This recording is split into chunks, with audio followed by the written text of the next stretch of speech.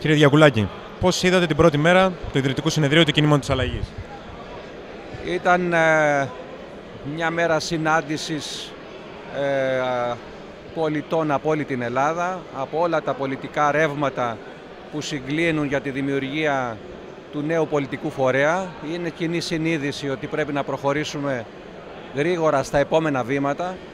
Η συνάντηση και το συνέδριο, το, το ιδρυτικό συνέδριο βάζει τις βάσεις για την ενότητα. Τα επόμενα βήματα πρέπει να είναι στην ανανέωση της πολιτικής, της φυσιογνωμίας, των προσώπων, προκειμένου οι πολίτες να έχουν προτάσεις και λύσεις στα καυτά προβλήματα που ε, αντιμετωπίζει η χώρα και η κοινωνία. Είστε αισιόδοξοι δηλαδή για τη μετέπειτα πορεία; Ε, το στοιχείο της ανανέωσης είναι ένα βασικό στοιχείο αισιοδοξίας.